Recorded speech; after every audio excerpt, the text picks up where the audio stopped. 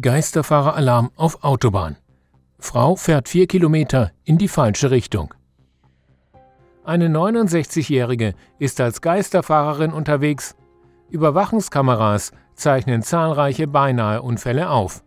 Immer wieder müssen Autofahrer auf der Überholspur scharf abbremsen. Die Polizei berichtet von zahlreichen Notrufen. Die Aufnahmen hat die spanische Polizei veröffentlicht.